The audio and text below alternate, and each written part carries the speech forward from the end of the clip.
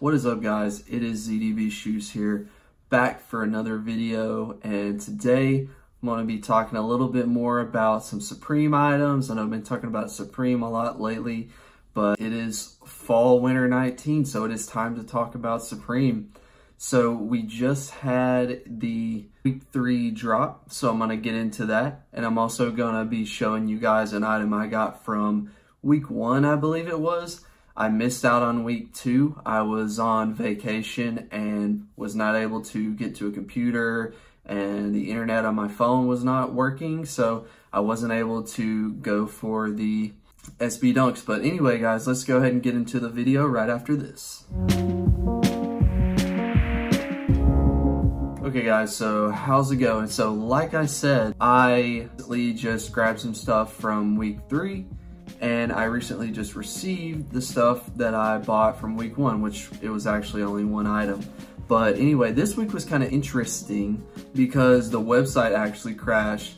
There are many people in a lot of the discords that I'm in saying that they couldn't get onto the website. I can get onto the website myself for the first five minutes or so and the big item this week was the, I believe was the fleece bandana jacket that everybody was going for that had the most resale potential. That item finally loaded in, I think after five or six minutes on the site, but because it was so flooded was the reason it crashed. It got flooded by bots, it loaded in, sold out. So a lot of people were mad about that and a lot of people are salty at Supreme for I guess not being able to weed out bots more, or I guess not having their site optimized enough. But anyway, that is kind of a bummer.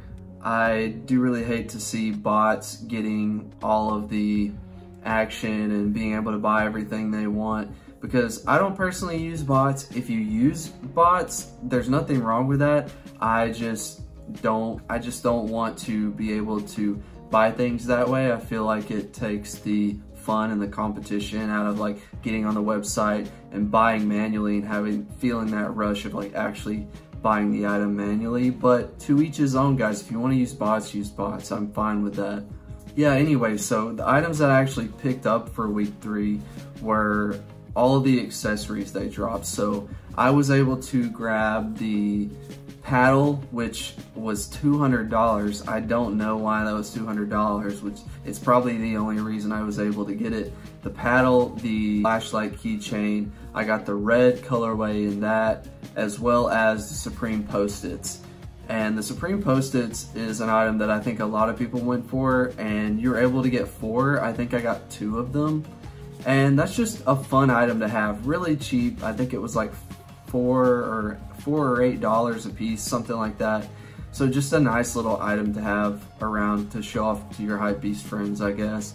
The keychain, obviously, I'm gonna put on the keychain, use a flashlight, show off to your hypebeast friends. And then the paddle is just something nice to put in your room, I guess. I mean, I'm definitely not going to be playing ping pong with this paddle and, and the balls because I don't have a ping pong table and I really don't play ping pong that often, so this is just gonna be a decoration conversation piece for me, like most Supreme Hypebeast items are for most people, because people just wanna rack up Supreme items and then show them off on a shelf, which there's nothing wrong with that. I don't have a shelf of Supreme items yet because I don't have that many Supreme items, but I will in the future if I become a super big nasty hype beast like a lot of you guys are. Just kidding. But anyway, guys, so that was pretty much it for week three. No, nothing too crazy happening. Like I said, for week two, I was not able to grab the SB Dunks. I know those are the big items from week two.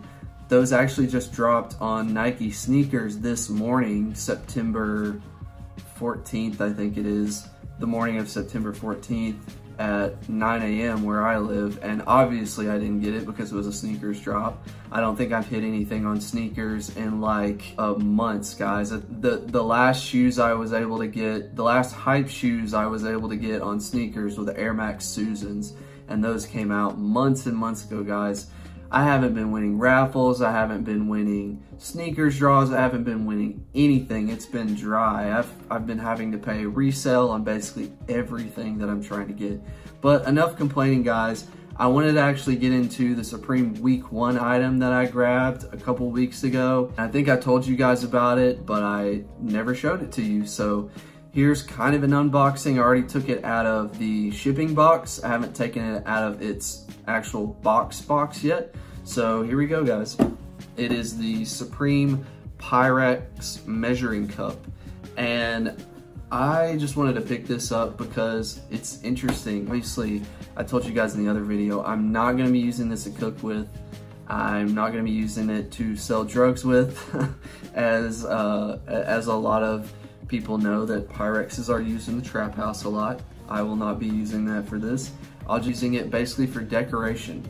But like I was showing you, got the box logo on the outside box on a couple of different areas. Um, pretty standard otherwise.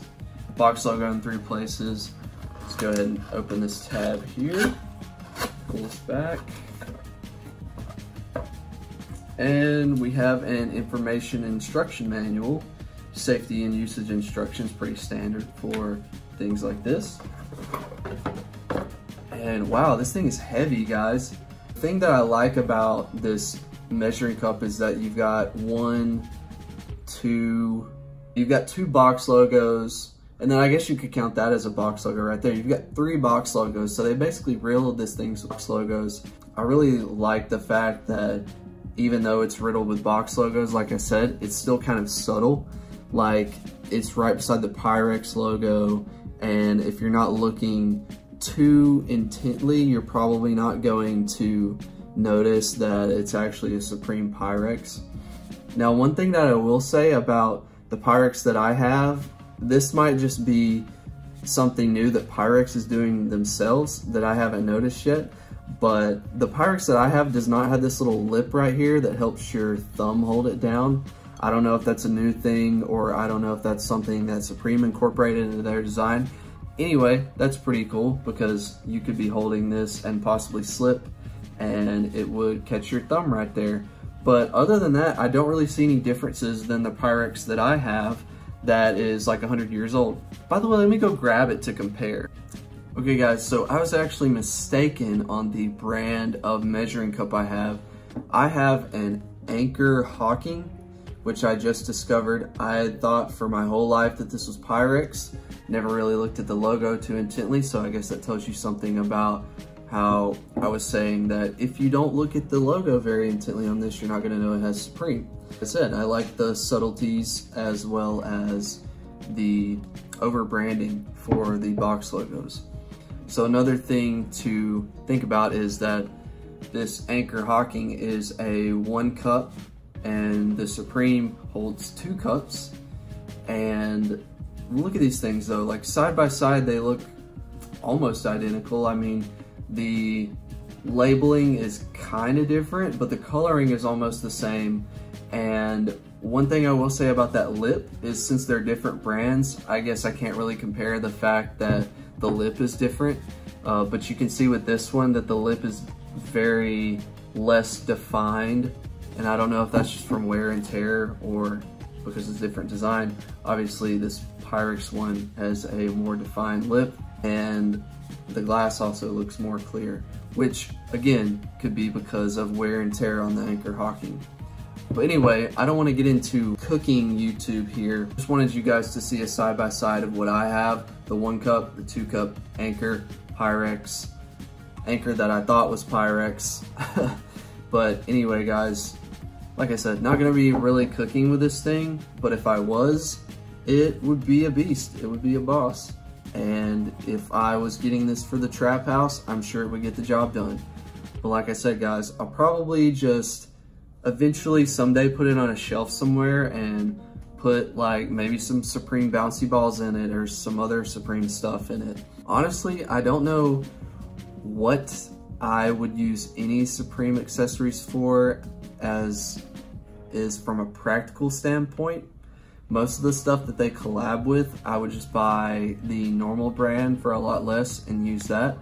I just like to buy the Supreme accessory so I can show everybody off my Hypebeast stuff, if we're just being honest here, guys. But anyway, overall, pretty cool object, and I'm going to put this thing back in its box because I have a feeling that possibly one day these things could be going for you know, more than retail. I think they're going for more than retail right now, but not enough to actually sell on StockX or anything because it's like 15 bucks more or something like that. And when you factor in shipping and stuff like that, I don't know if taking it out of the box like this is considered undsing it. I'm sure that Hypebeast would probably say it is because I put my fingers all over it and I opened the box. But anyway, if it's going to be worth something in the future, then it will. If not, then maybe I'll give it to my kids before I pass away so they don't have to go buy one. Whatever. anyway, guys, so I know that was a lot. Week one, recapping week one, what I grabbed. Didn't get anything from week two, unfortunately.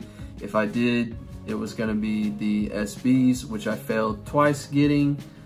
Hopefully I'll grab a pair of those for resale if they go down in the future. But as we know, Supreme stuff, it's probably, and then week three, Whenever I get my week three stuff shipped, I'm definitely gonna be making an unboxing video because that will be more eventful than this one. I'll actually have stuff to show off, more stuff to show off. I'll have three items.